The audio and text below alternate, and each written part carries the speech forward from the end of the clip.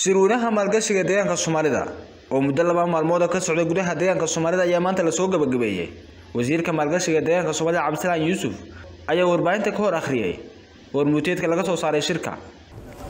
Shirkan oo ahaa kii ugu horreeyey ee noociisa lagu qabto dowlad deegaanka soomaalida ayaa waxaa ka soo qayb galay ganacsato ka kala socday wadammada deriska sida d jabuuti somalilan soomaaliya puntland kenya iyo shirkado caalamiya oo ka socday south africa iyo turki waxaa kaloo goobjoog ka ahaa kulankan komishinka dowlad deegaanka dalka etoobiya dowladda federaalka etoobiya ee maalgashiga. Waxaa kaloo nagala soo qayb galay kulankan deegaamada jaarka ah ee herarida iyo deegaanka oromada shirkan oo ujeeddadiisu ahayd in lagu soo bandhigo fursadaha maalgashi ee ka jira deegaanka soomaalida iyo siyaasadaha saaciidaynaya maalgashiga iyo in aan abuurno jawi maalgashi oo deeludeegaanka soomaalida si gaar ah loo soo dhowaynayo maalqabeennada gaar ahaan geyiga soomaalida. Waxaa daah furay shirka madaxweynaha dowlad deegaanka soomaalida mudane mustafe maxamed cumar iyo madax xafiiseedka maalgashiga iyo qurbajoogta maalqabeennadii ka soo qayb galay shirku waxay soo dhoweeyeen fursadihii maalgashi ee la soo bandhigay.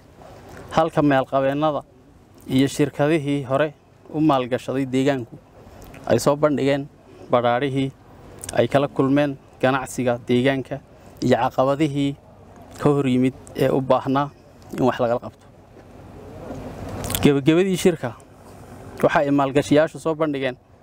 Ganacsiyada ay maalgashan doonaan iyo fikradaha ay rabaan inay daraasad mar labaad ku sameeyaan si ay maalgashigaas ay ugu soo diyaargaroobaan halka xafiiska maalgashigu uu soo bandhigay daraasaadyo afartan ilaa konton u dhaxeeyey oo loogu talagalay dadka danaynaya inay deegaanka soomaalida maalgashi ka sameeyaan inay fiirisadaan oo arkaan. Dowlad deegaanka soomaalidu waxay soo bandhigeen goob warshadeed ama industrial zone ku habboon maalgashiga warshadaha. Dhulkaasoo laga diyaariyey duleedka magaalada jigjiga oo haddii kadib aan rajaynayno in codsigoodii dadka maalgashiga warshadaha diyaarka u ah ay dalban karaan.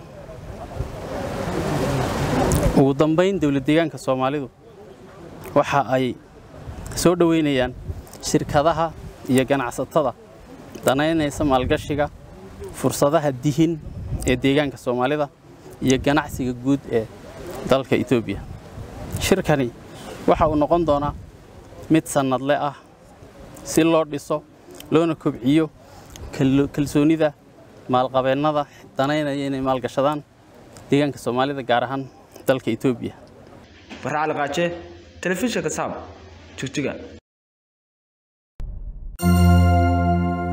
hadal. Oo hadal oo hadal. oo ku hadal. Bishii oo dhan toddoba dollar. oo keliya haddaba si aad ugu shubato adeega kaafiye fadlan garaac xidig siddeed eber siddeed afargees ama xidig laba eber laba. Tayo! Waa telesom